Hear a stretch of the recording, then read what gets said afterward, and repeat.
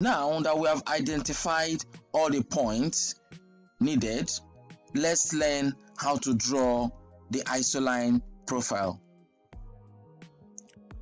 Let's draw an isoline profile of 30.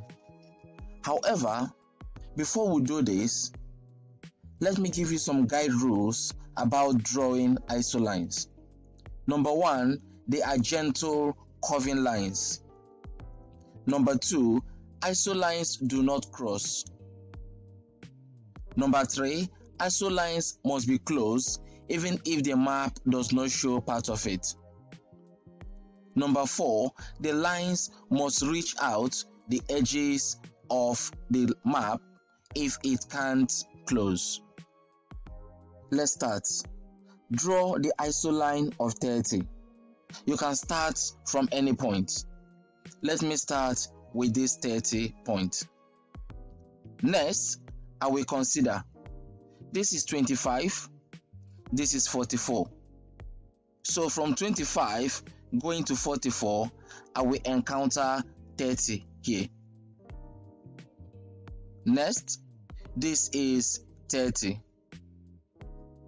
Next, I will consider this is 27 and this is 38. From 27 to 38, I will encounter 30 in between. Next, this is 27 and this is 38. So from 27, I will go 28, 29 and I will encounter 30. Next, this is 28 and this is 37. So going from 28 to 37, I'm going to encounter 30 here. Next, this is 28 and this is 35. In between 28 and 35, I've got 30. This is 28, 29. This is 27, 29. This is 27, 35. Hence, there is 30 in between. At the mean, there is nothing here for us to take 30 from. Hence, the line will just go off the edge. However, we have a point here. Next, this is 30 and this is also 30. This is 27, this is 32. Hence, there is 30 here. This is 28, this is 40. Between 28 and 40, there is a 30. Next, we join all the points neatly. We have just formed a contour line. Let's try 40. With 40, this is 40. Now this is 30 and this is 44. Hence, we got 40 here. This is 30 and this is 44. That means we have 40 here. Next, this is 30 and this is 45. That means in between we got 40. This is 38 and this is 45. That means in between we got 40. This is 37. This is 43. That means in between we got 40.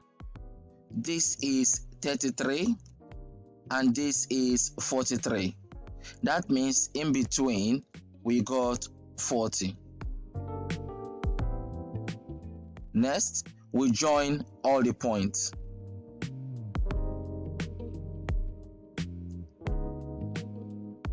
This is the isoline profile.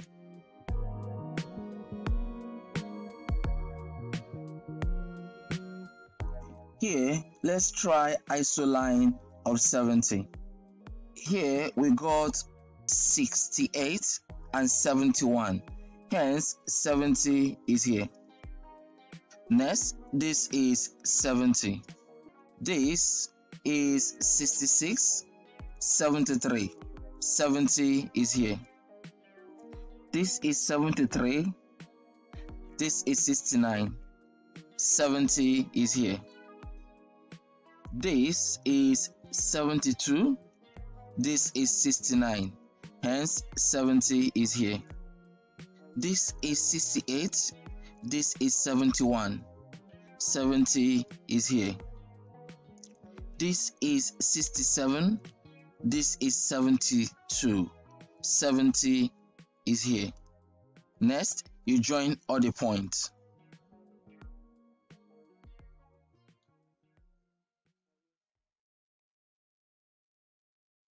now remember one of the rules. Iso lines cannot hang out like this. They need to go off the edge of the map. Pause the video and try 75 80 and 85 thanks for watching. I will see you in the next video